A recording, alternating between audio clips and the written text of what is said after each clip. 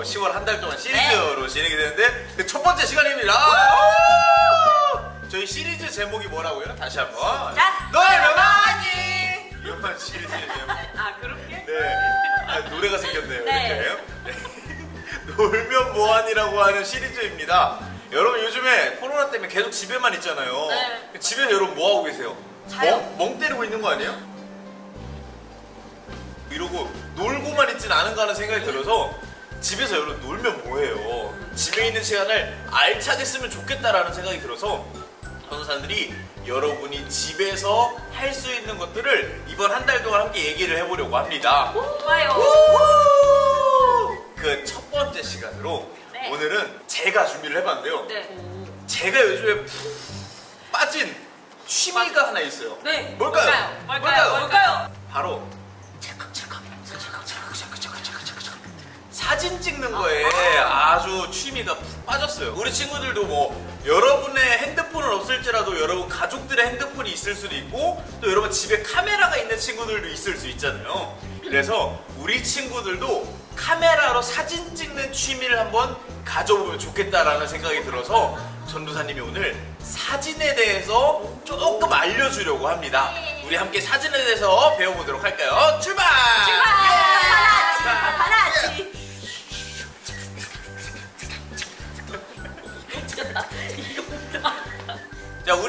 우리 두 전도사님한테 먼저 네. 사진을 찍어오라는 미션을 한번 드려 사진을 찍어오라는 미션을 한번 드려 사진을 찍어오라는 미션을 한번 드려보도록 하겠습니다. 네. 의자가 많이 있는데 네. 여러분들이 보시기에 예쁘게 의자를 네. 핸드폰 카메라로 한번 찍어봐 주시겠어요? 알겠습니다. 자, 알겠습니다. 우리 두 분 출발! 출발.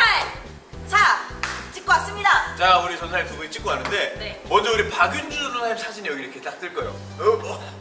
야, 아. 의자를 이렇게 찍어 왔는데 어, 어떻게 어떻게 보세요? 어떤 것 같아요? 잘 찍었는데요? 잘 찍은 것 같아요? 윤주 전사님도 잘 찍은 것 같아요. 네. 야, 그럼 어떡해요? 유라 전사의 사진 여기 찍어.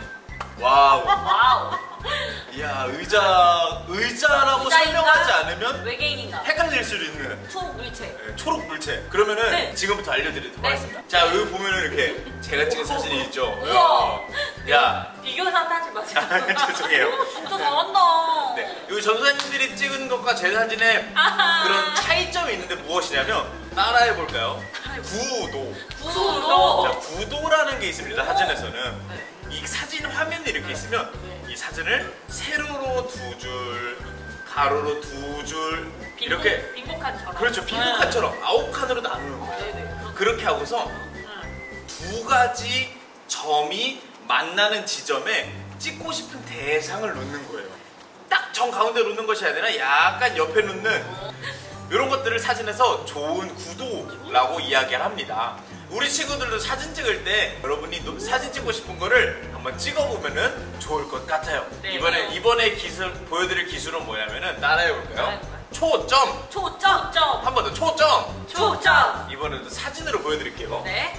자, 제가 박윤주 전도사님을 찍는다고 했을 때 네. 먼저 첫 번째 사진을 보면 네. 구도로는 박윤주 전도사님을 좋은 위치에 뒀는데 주변에 다른 우리 윤, 유라 전도사님이 비슷한 크기로 나오면서 초점이 박윤주 전도사님한테만 맞은 것이 아니라 여기저기 다 맞았어요. 아. 그런데 이 두 번째 사진을 보면 네.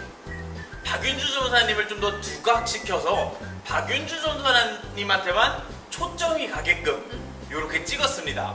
첫 번째 사진이 더 잘 찍은 것 같으세요? 두 번째 사진이 더 잘 찍은 것 같으세요? 두 번째요. 두 번째. 네, 좋은 구도를 잡고 찍고 싶은 대상을 확실하게 초점을 잡아서 사진을 찍을 때 예쁜 사진을 찍을 수가 있습니다. 자, 우리가 이번 시간에 네. 우리 친구들이 집에서도 해볼 수 있는 취미 생활 사진에 대해서 배웠습니다. 잠깐, 잠깐, 잠깐. 첫 번째 중요한 거 뭐라 그러죠?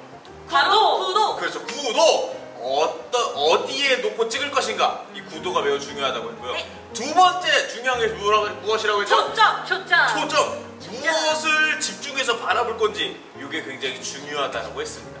그런데 말이죠. 그런데 말이죠. 그런데 말이죠. 우리가 네. 하나님을 믿고 신앙생활을 할 때에도 사진 찍는 거랑 마찬가지로 구도와 초점이 중요하다는 거 여러분 혹시 아세요? 오. 이것이 무슨 말이냐면 네. 이 구도라는 것은 어디에 있는지가 중요하다고 했잖아요. 네, 네. 우리도 살면서 내가 어디에 있는지를 음. 깨닫고 있는 게 굉장히 중요해요. 맞아요. 중요합니다. 굉장히 중요합니다. 네. 그런데 어, 우리 친구들 다 다르잖아요. 네. 맞아요. 조 선생님 어제 어디 계셨어요? 저는 음, 집에 이렇게. 집에 이렇게. 조 선생님 어디 계셨어요? 저는 집에 이렇게. 집에 이렇게. 저는 교회에 이렇게 이렇게 있었단 말이죠. 네. 그런데 우리 친구들도 다 각자 내가 어디에 있는지 서로 다를 거예요. 그렇죠. 근데 우리 모두가 공통적으로 가지고 있고 기억해야 하는 위치가 있어요. 그것이 무엇이냐면 따라해 볼까요? 하나님 앞에서 하나님 앞에서 우리는 모두가 내가 어디에 있든지 나의 위치가 하나님 앞이라는 것을 기억해야 돼요. 우리 친구들이 네. 여러분의 친구들이랑 같이 있을 때 하는 말과 행동이랑 여러분의 가족들이랑 있을 때 하는 말과 행동, 또 특히 어른들이랑 있을 때 말과 행동이 달라지잖아요. 맞아요. 그런 것처럼 내가 하나님 앞에 항상 있다라는 걸 기억할 때 그때 우리의 삶의 모습들이 달라질 거예요.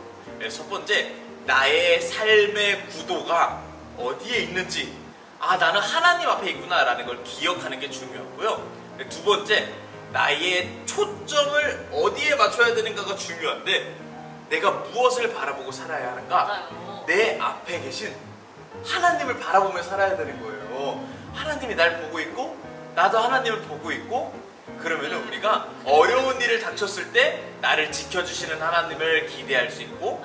또 내가 내 맘대로 막 살고 싶을 때 오. 하나님 때문에 조금 참을 수 있고 이런 마음을 가지고 살 수 있을 거예요.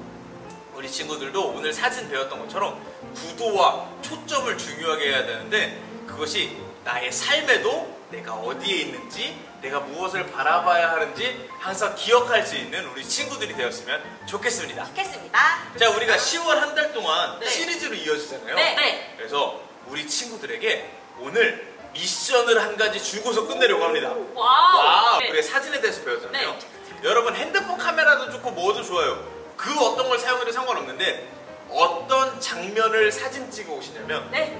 네. 우리 친구들이 여러분의 가족들과 함께 오. 식사하는 장면을 밥 먹는 거요? 밥 먹는 뭐 차를 마셔도 좋고 과자를 먹어도 좋고 네. 집에서 밥을 먹어도 좋고 좋고. 외식을 해도 좋아요. 어. 대신에 우리 친구들이 가족들과 함께 밥 먹는 장면을 사진으로 찍어서 아래 나오는 메일 주소로.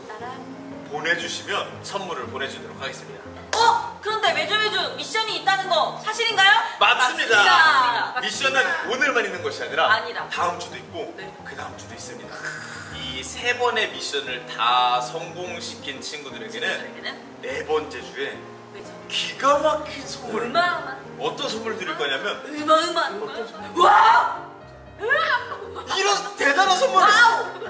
드릴 거예요. 부릴 거예요. 깜짝 놀랐어요. 아, 우와! 친구들 열심히 3주 동안 해서 마지막 라이브 예배 기억하세요. 기억하세요. 자 그러면은 사진 멋지게 찰칵찰칵 잘 찍으시고요. 다음 주에 만날게요. 안녕. 안녕.